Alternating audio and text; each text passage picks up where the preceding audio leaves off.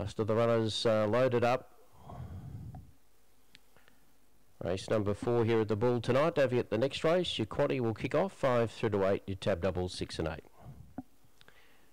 Almost ready now. There's the green light. Favourite box two. Set for a start.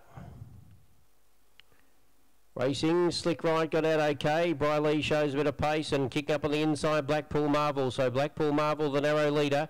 Going up quickly now was Slick Right. Briley's just on their heels. And then for the back, Typhoon Bolt. For the back was Love Heart and Mario Vest only around the home corner. And Slick Right has got away by about three or four up the straight. And Slick is far too good.